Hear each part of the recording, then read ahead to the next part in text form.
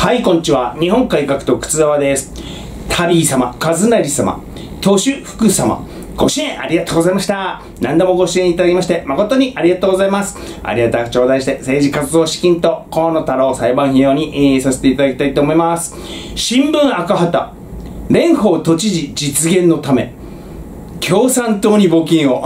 呼びかけ、えー理由が自民党政治を終わらせるため、えーだそうであります。えー楽でいいね、えー自民党は悪と決めつけて、えそのあの、魔王と勇者あじゃないですけど、あー水戸黄門じゃないですけど、その方があの考えなくていいんだよね。蓮舫候補は共産党の金集めの出しになってますね。まあ本望でしょう。共産党公認候補みたいになってからね。えー世論です。便乗されてて草。あははまだ自民がって言ってんの。日本を終わらせる大きな一歩の間違いだろう。本当の目的が出てきました。さすが共産党公認候補。大臣経験者が選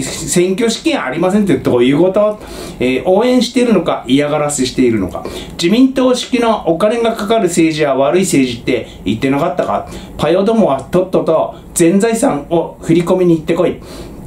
えー政治に金がかかるって、ふざけるなーって非難してたのにね、えー麻生さんのあの政治に金かかるよね、えーいう発言をあ非難してたのにね、振込先口座の名義がですね、日本共産党東京都委員会財政部とですね、日本共産党中央委員会となってました。これだとあの入金された金はですね、都知事選以外何にでも使えますね。えー金に蓮舫さん得て、えー書いてないしね。地震の時も水害の時も募金集めるが、小さくですね、募金は共産党支部のためありがたく使わせていただきますって書いてある、いつもの手口であります。えー共産党が集めた金は決して被災者には届きません。えーしかし、あの、共産党って共産主義者のくせに一番金にがめつくない。えーあの、災害があるといち早く出動して箱持って、えー街頭に立つという、えー金にがめつい共産主義者のくせに大谷翔平激怒で日テレと富士の制作現場が混乱。何が NG で何が NG でないか誰にもわからない。だそうであります、えー世論です。何がダメなのかもわからないのか終わってんな。NG がわからないなら出禁にして正解。家の構造を映すとかやったからだろ。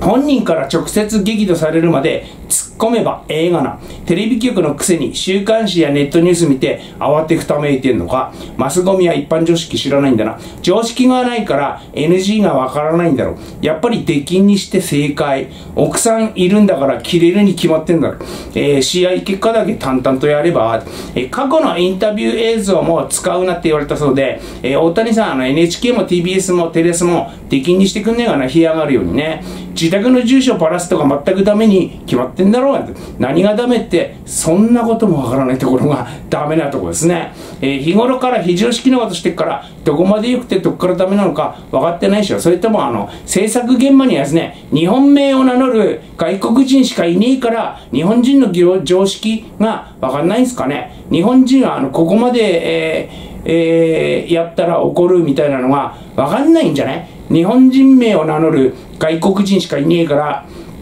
まあこれがあの世界最低品質と思える日本のテレビ局なんですよね。えー TBS バラエティ番組、リンカーンの後継番組、ジョンソン、えー視聴率低迷で9月で打ち切り、たった1年間しか持たなかった模様であります。世論です。TBS の社長が面白いとかなんとか言ってなかったか、このゴミ番組。結局一回も見ることがなかった。まずメンバーチョイスがね、家族で見れないタイプのバラエティ番組ってもう需要ないと思う。えー家族で見れないタイプのバラエティだったんだ。えーかけらも需要なかったんだろう。ウィキペディアの閲覧数対決は面白かった。ジョンソンとかリンカーンとか意味不明。そもそもリンカーン自体が低視聴率で8年も続いたのが驚き。そもそもリンカーンが面白くなかったのになんで後継番組作ったの、えー始めてしまった TBS の偉いさんが意地で1年間持たせただけ。芸人が集まってわーわーやるタイプの番組がもう無理な時代なんだろう。えー制作側のセンスが昭和でつまんないんでしょうね。芸人が集まってもですね、頭叩いたりのツッコミは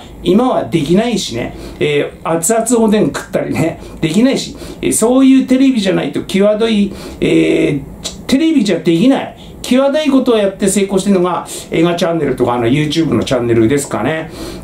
テレビと同じく日本のがんの新聞は人口減少でどうなるか。人口減少対策総合研究所理事長高知大学客員教授の河合正史さん日本から全国紙が消える。日というタイトルで記事、えー、出してました。2000年の5370万部から3302万部に4割も減っちゃったしね。高齢者しか読まないし、まず地方紙が激減し、全国紙がやっていけなくなる。だそうです。えー、まず地方紙が消えて、次に全国紙が消えると。えー、世論です。読売がなくなって、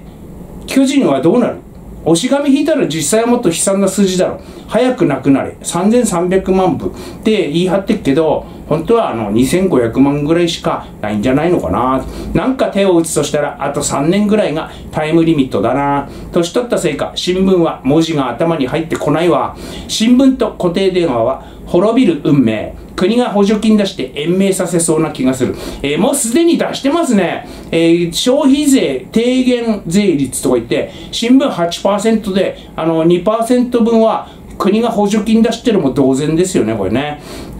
これからなんで、えー、何で梱包したり靴を乾かしたりすればいいのか。新聞 ?1 日遅れの古文だろう。えー、毎日毎日結構な量の紙の処分が面倒、瓦版がなくなったように、新聞が消えるのは必然。根本は嘘ばっか書いてて信用がなくなったことによる売上不振だろうと。えー、新聞って名前で、だが、届くのは1日遅れの古文。観光、環境保護って言いながら、木を作って、木を切って作った紙をガソリンで燃やしながら配達、所得格差ガーと言いながら、自分らは高級取り、学歴差別ガーと言いながら、大卒しか募集しない。富士デモも NHK スクランブルデモも外国人、えー、実習制度廃止デモも決して報道しない。国葬反対なんて集会はたとえ5人でも報道する。こんなことばっかりやってっから呆れられて見捨てられるんじゃないですか。えー、毎年毎年160万人が亡くなってて、えー、今後もですね、右肩上がりに増えていく死亡者170万人、180万人。190万人、えー、250万人ぐらいのピークをの後に下がっていくんじゃないかって、えー、予想されてますけれども、だからあの若者は買わない新聞はお先真っ暗ですね。60代の1日の平均新聞購読時間は23.2分だって、えー、随分多いなってびっくりしましたけれども、えー、10代は1.4分、20代は1.7分、えー、60代のですね、あの、10分の1以下ですから、20代、えー、10代は変人しか呼んでないんじゃないの ?60 代の10人に6人が新聞読むとして、えー、10代は10分の1だから、10人に0.6人つうか、20人に1人ぐらいしか新聞読まないんじゃないの？えー、例えば、あの、お父さんが撮ってるのを見てるであるとか、そんなもんじゃないか。えー、男女平等って、あの、女性議員が少ない、女性が輝ける社会をとか言って、自民党と一緒になって人口減少促進してんだから、まあ自業自得ですよね。テレビと一緒で滅びる運命は確定的。生きてるうちに朝日毎日の倒産が見たいであります。えー、今日の単身です。国の方針を示すエネルギー基本計画で原発の増設が盛り込まれる見込み。やったって思いましたけれども、えー、朝日新聞の憎しみに満ちた記事をよく読んだら、廃炉した原発の建て替えを認める内容でした。がっかり。えー、だがしかしですね、発電量が5倍、10倍の原発にしれっと交換したら、新しく建設するのと変わらんよね。えー、数字に激弱のパイオが気がつく心配は全くありませんので、え、それにですね、あの、これには、えー、原発の周囲にはエリア51の岩石が敷き詰めてあるから大丈夫とか言っとけば頭が弱いパヨは騙されるでしょ、えー、エリアあ51の空気が周辺に固定されているから大丈夫、えー、がんも治ります。とか言っとけば頭弱いねあのパヨは騙されるんじゃないかえー、早く全部再稼働してですね、大容量に交換して電気代安くしてくれる。えー、輸入するよりもですね、安く海水からウランを抽出する技術もあともう少しですし、それができたら夢のですね、エネルギー自立国になれますよ。日本はあの、これで大東亜戦争に突入していったんだから、エネルギー自立は夢でしょ。えー、もちろんあの、再エネ付加税は廃止してね、えー、孫正義と菅直人が作った、えー、再エネ付加税、えー、廃止してね、マイナンバーカード発行枚数が9237万枚に到達。普及率は73.7%ヤフーが実施したヤフコメ民限定だと36%だそうであります、えー、73.7%思ったより普及してました。ネット見てるとあの反対するパヤどもの声がうるさくてこんなに普及しているとは思わなかった。やっぱパヤはですねあの声だけでかいが数は少ないと、